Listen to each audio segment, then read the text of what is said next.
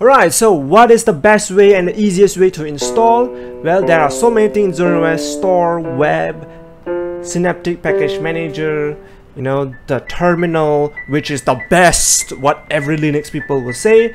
But we are average user, we like to follow Windows way, and this is the click button way.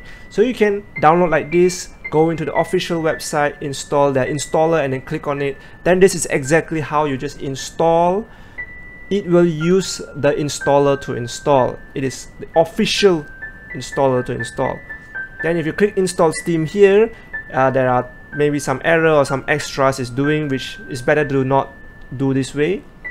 Do just now that way is better. So if some sites you go to VLC you see like Ubuntu, directly it'll show you a button to go into the store or you can put into the terminal, right? So we are average user, we like to click buttons. We click the button, and it will show us the store. You can choose which distributor you like. If you want to follow the Snap Store, you can follow the Snap Store, which is recommended in the site.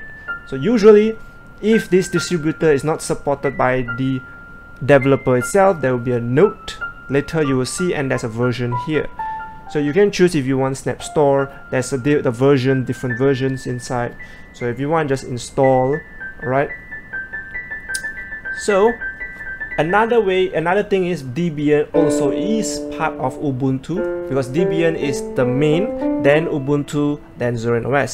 So the Debian you can see all our codings. But if you were to do it directly in the store, you search the Steam, I'll show you now, it will show you a note stating it is not officially supported by Valve, not supported by the official website, even though it is a reputable distributor because you need to wait for the distributor to update and might be not stable. So you see, you can go to Blender, you will install, you see tar dot something, which is not installable. You need to convert it. So we can skip that. Here you can check you can choose snap store here and install it from the store because officially it's shown in the official website. So you can use here to install whatever thing it has.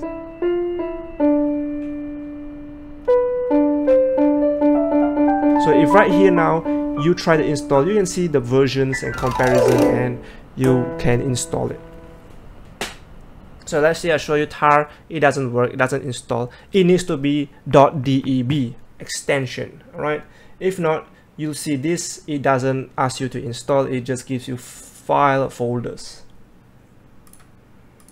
Please like, subscribe and comment. Below is my previous videos, to the center is my other videos and to the side of it is my playlist for different topics in different playlists. You can check that out for my previous and future videos that is to come. So thank you all for watching. Famous Cyber signing out.